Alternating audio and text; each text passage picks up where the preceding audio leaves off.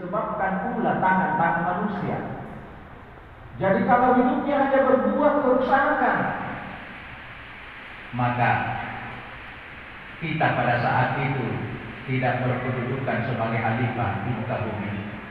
Khalifah di muka bumi untuk membuat kebaikan, untuk membuat kedamaian antara satu dengan yang lain. Kemudian yang kedua, kita bertanya pada diri kita, kita apa?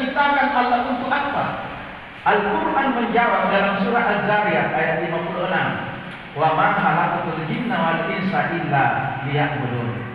Tidaklah aku menciptakan jin dan manusia kata Allah kecuali hanyalah untuk beribadah kepada aku. Kita hidup untuk ibadah. Untuk itu mulia tidaknya seseorang tergantung dari kualitas ibadahnya.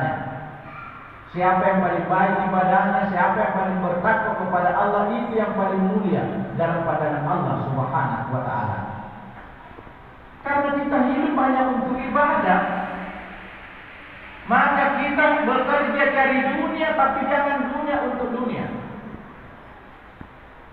Kalau ada orang bekerja cari dunia tapi niatnya untuk dunia, itu tujuan hidupnya orang kafir. Orang kafir cari dunia untuk dunia. Tapi orang beriman akhirat. Kenapa beda? Karena punya keyakinan yang beda. Orang kafir punya keyakinan hidup cuma satu kali, yaitu hidup di dunia. Orang kafir tidak yakin kalau kita mati bisa hidup kembali. Jadi orang kafir cari dunia untuk dunia saja karena keyakinannya satu kali jadi hidup. Tapi orang beriman punya keyakinan hidup ada dua kali. Hidup di dunia dan hidup di akhirat. Hidup di dunia hanya sementara waktu. Hidup di akhirat adalah abadi selama-lamanya. Untuk itu orang beriman cari dunia adalah untuk akhirat. Cari dunia untuk dunia dipakai mendekatkan diri kepada Allah.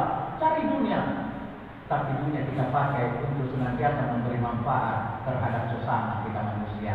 Artinya dunia adalah untuk akhirat.